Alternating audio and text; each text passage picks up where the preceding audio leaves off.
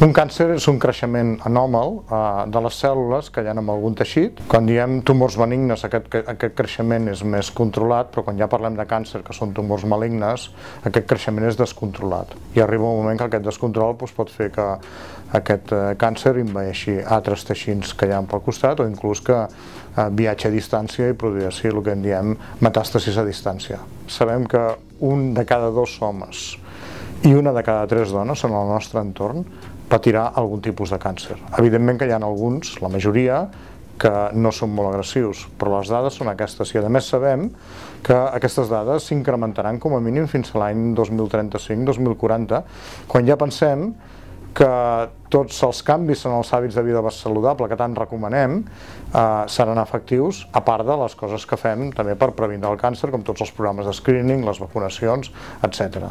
El càncer de pulmó és una malaltia molt prevalent. Eh? eh sabem que aproximadament a Espanya es diagnostiquen uns 30.000 nous casos a l'any. A Catalunya, més de 4.000 casos a l'any de càncer de pulmó. Estem tenint unes xifres en aquests moments d'aproximadament una supervivència a 5 anys del 20%. És veritat que amb càncer de pulmó tenim unes millories clares de tractament en els últims anys no?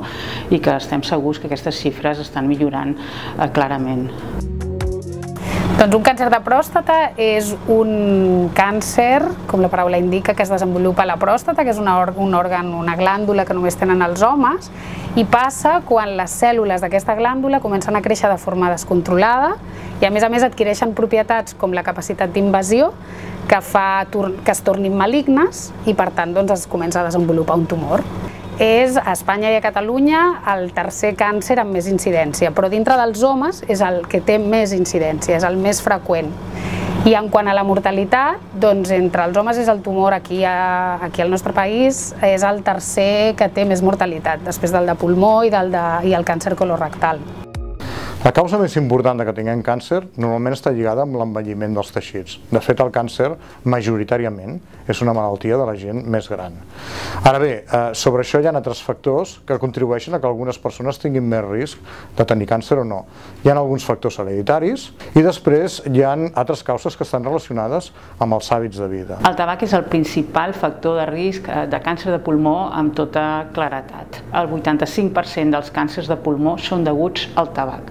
Tenim un 15% de càncers de pulmó amb no fumadors i estem lògicament també investigant les causes de per què això no passa, però eh, també dir que clarament eh, el tabac és el responsable d'aproximadament el 30% de tots els càncers, eh, perquè no és només el càncer de pulmó, el càncer de cap i coll, el càncer de bufeta també estan relacionats amb l'hàbit tabàquic. El que ens preocupa molt és que els nous fumadors bàsicament és gent jove, de menys de 25 anys, això ens preocupa i també ens preocupa molt que en els últims anys les dones també s'han incorporat d'una forma clara a tot el que és l'hàbit tabàquic. No? Eh, tots els pacients amb càncer tenen una millor evolució si deixen de fumar. No estic parlant només de càncer de pulmó, no? estic parlant, per exemple, de dones que es diagnostiquen d'un càncer de mama i que segueixen fumant. No? El risc d'un segon tumor augmenta clarament també en aquestes pacients. No?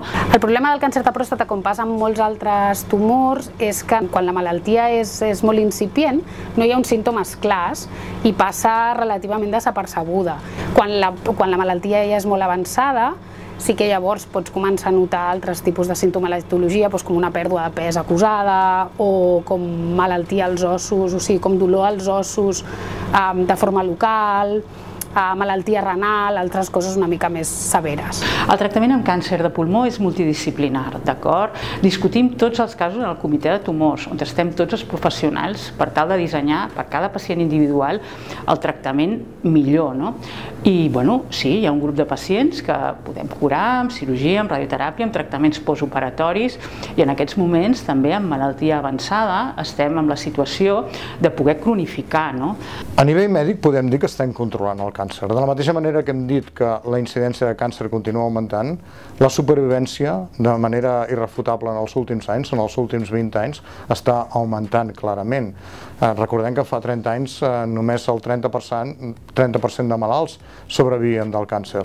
Avui en dia aquestes xifres estan molt a la vora del 65%, i amb alguns tumors, com per exemple el càncer de mama, és el 90%. Però evidentment hem de lluitar més, per entendre millor la malaltia, comprendre-la millor, diagnosticar-la millor eh, i tractar-la millor, i això és el que fem.